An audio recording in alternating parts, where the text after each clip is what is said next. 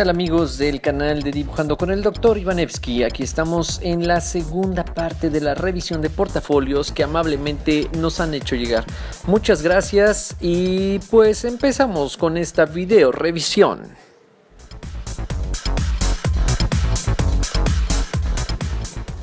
Aquí tenemos a nuestro amigo Ernei Navarro, quien nos ha hecho favor de mandar su galería de imágenes, su portafolio. Ernei, creo que tienes tú una facilidad innata para lo que es el dibujo toon, para la caricatura, para la historieta. Te felicito. Eh, también quiero agradecerte y comentarles a todos que Ernei me regaló un eh, excelente banner para una imagen para la portada de Facebook. Y aquí lo vemos también en blanco y negro. Realmente tu trabajo es muy bueno. ¿Qué te recomendaría, Ernei? Nada más procura trabajar un poco más los detalles de tu cómic, como por ejemplo los fondos, y en el caso de los personajes es muy importante el integrarles un mundo, eh, los escenarios. De eso vamos a hablar en próximos videos. Me gustaría que vayas trabajando en todo lo que es el entorno de tus creaciones. Están geniales, me gustan.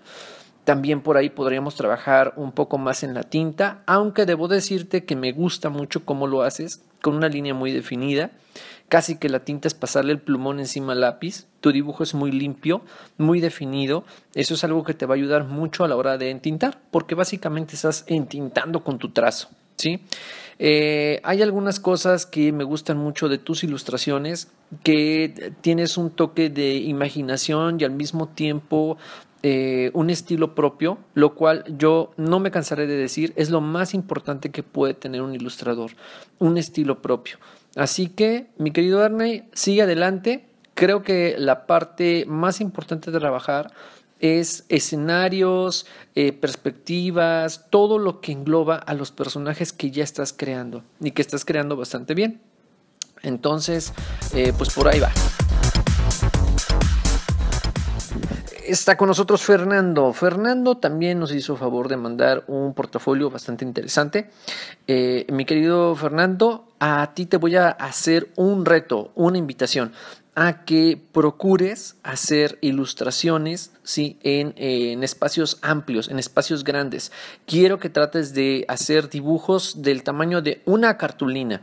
Hazlo y me platicas cómo te fue en esa experiencia.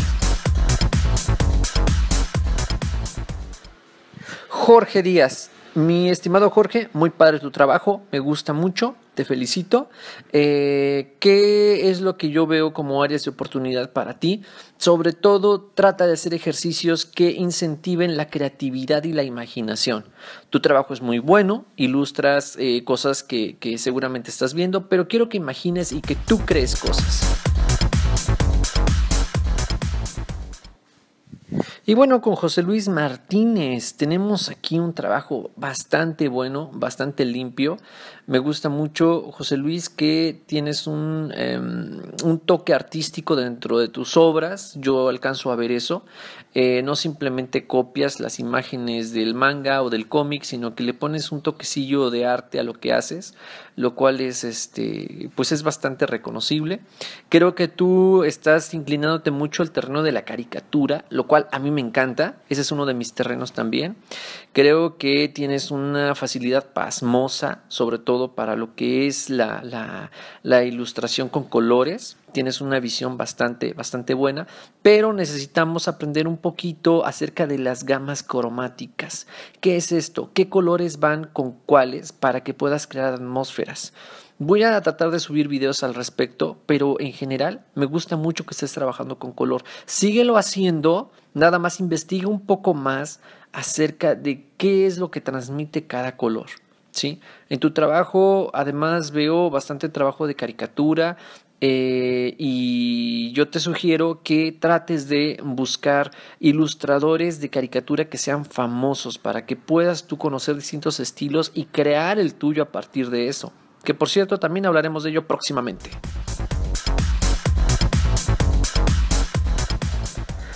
Nuestro amigo Luis, Luis Rivera nos manda solamente una ilustración, pero muy padre, no por eso desmerece, al contrario, gracias Luis, la recomendación es la única, como es este único dibujo, practicar, practicar y más dibujos.